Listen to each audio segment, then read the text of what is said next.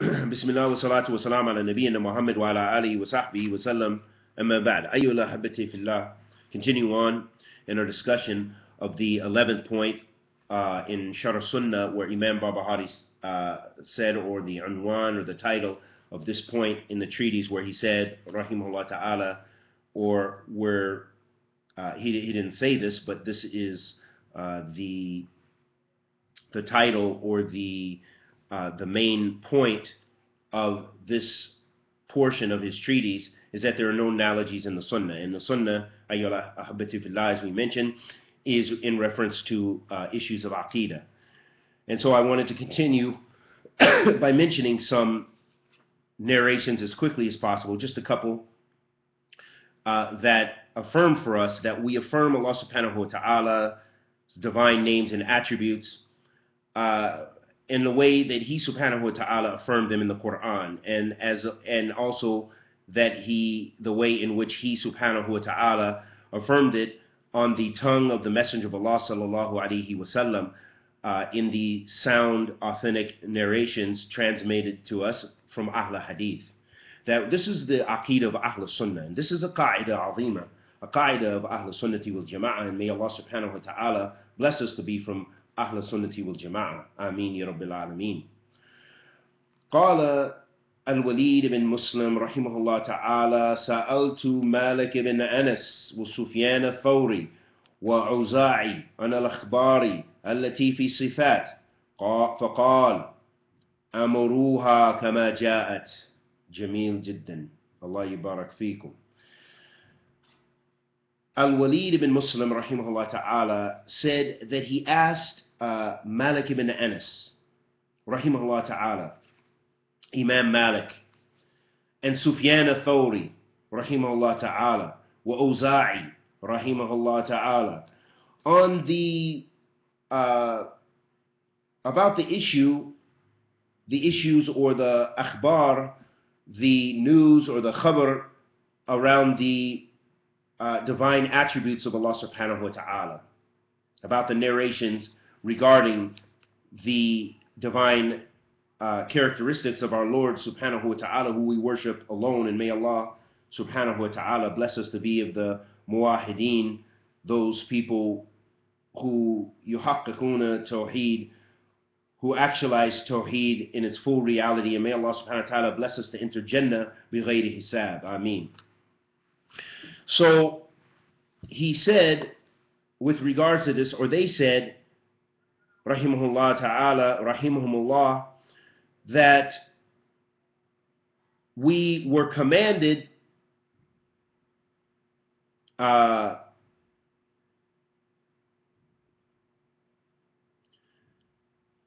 that they were commanded or that they advised him to follow or believe in those sifat, those divine attributes, as they were revealed, kama ja'at, as the, in the same way they were revealed. Meaning that you don't, there's no need to change and distort the meanings of uh, the ayat in the Quran or in the Sunnah of the Messenger of Allah sallallahu alaihi wasallam regarding those divine sifat because they are perfect and they are Allah subhanahu wa ta'ala sifat and Allah subhanahu wa ta'ala mentioned those things about himself and the Prophet ﷺ mentioned them about Allah subhanahu wa ta'ala. And we believe in the Messenger of Allah wasallam. We believe in the Sunnah, and we don't. There's no need to go to our intellect and then begin to change the meaning in order to fit our individual intellects because my intellect is different than yours. Your intellect is different than your sheikh's. His, his intellect is different from the Sufi Murid. And the Sufi Murid's intellect is different from his, his sheikh or his alim who is from Ahl Tasawwuf etc. That all of our intellects are uh, vary. The, the intellect differs from person to person. So there's no way we would all come up with the same uh, understanding of who our Lord subhanahu wa ta'ala is, but rather we are ordered to follow those and believe those divine uh, uh, sources, the Kitabillah wa Sunnatul Rasul sallallahu alayhi wa sallam, and as they are articulated uh, the divine attributes of Allah subhanahu wa ta'ala. We affirm what Allah affirms about himself and what his messenger sallallahu alayhi wa sallam affirms about him.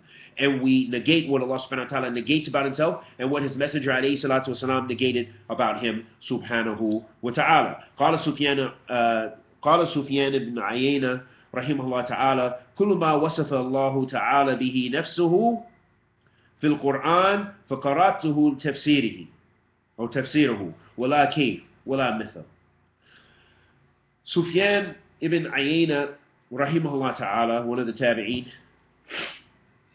he said, everything, uh, everywhere in the Quran that, or every place in the Quran where Allah subhanahu wa ta'ala described His self, the Almighty, I've read it, and I've read the tafsir of it. I've read the tafsir of it.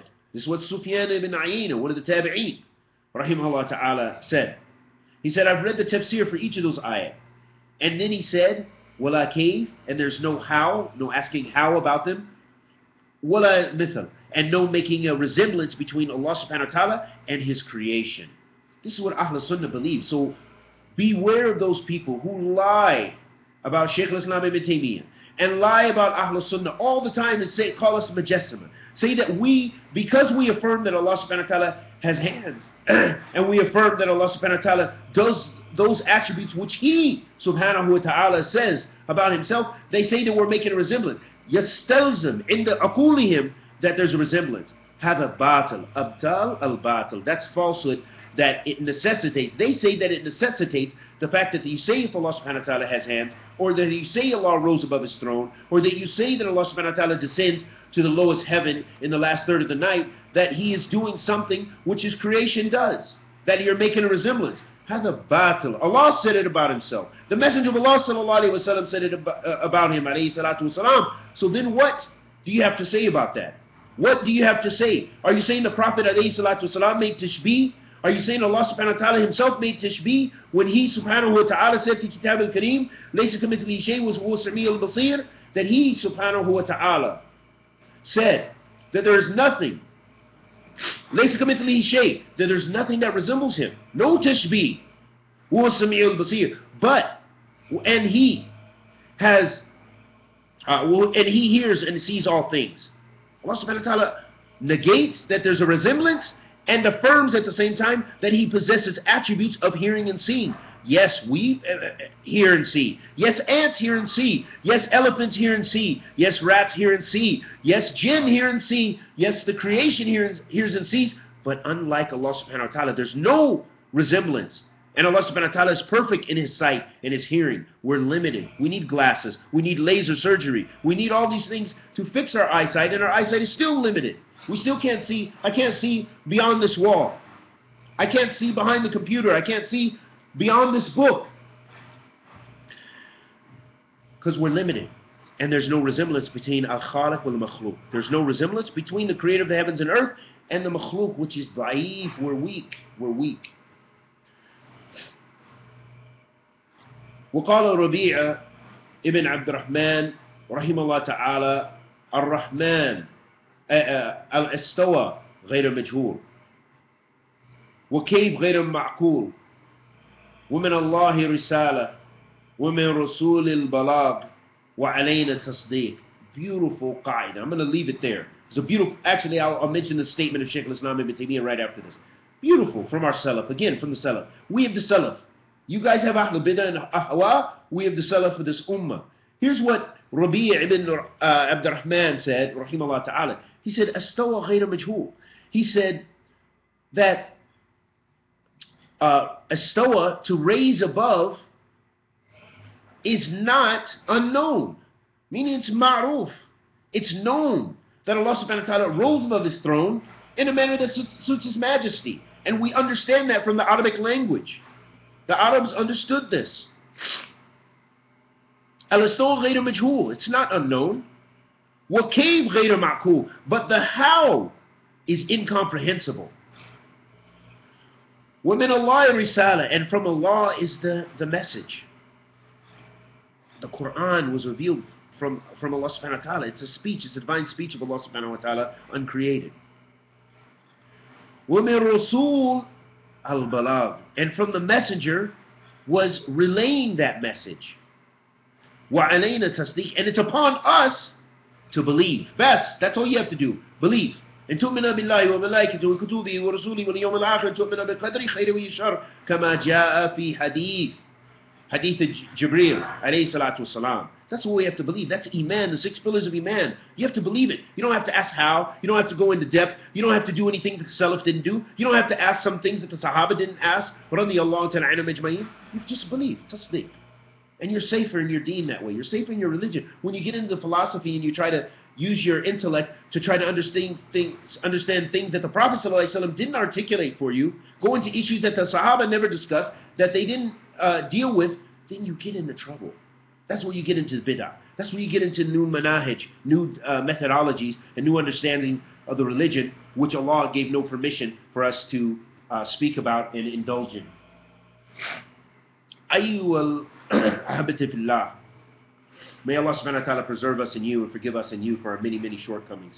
قال الشيخ الإسلام ابن تيمية أيضا شيخ الإسلام رحمه الله تعالى said إن المذهب السلف الأمة وأئمتهم هو أن يوصف الله يوصف الله بما وصف به نفسه وبما وصف به رسوله صلى الله عليه وسلم من غير تحريف ولا تعتيل ولا تكييف ولا تمثيل فلا يجوز نفي صفات الله التي وصف بها نفسه ولا يجوز تمثيلها بصفات المخلوقين بل هو سبحانه ليس كمثله شيء وهو سميع بصير وليس كمثله شيء في ذاته ولا في صفاته ولا في صفاته ولا في أفعاله. Right there it's laid out. Shaykh al-Islam ibn Taymiyyah rahimahullah ta'ala will stop there. He said that from the madhab of the Salaf of this ummah and its imams is that Allah is described by the way he described himself and by how his messenger sallallahu alaihi wasallam described him without changing the meaning. Or distorting the meaning changing it to fit your intellect as we said. And not negating his divine uh, names or his divine sifat his attributes. And not asking how about those divine names and attributes. And not making a resemblance between his divine names and attributes and to that of his uh, creation.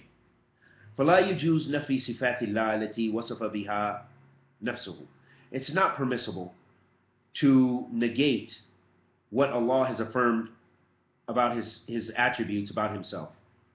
And it's not permissible to make a resemblance between the his his divine sifat, his attributes, and that of the creation but rather Allah the Almighty said, There is nothing that resembles him, and he is he see he's the all seeing, all hearing.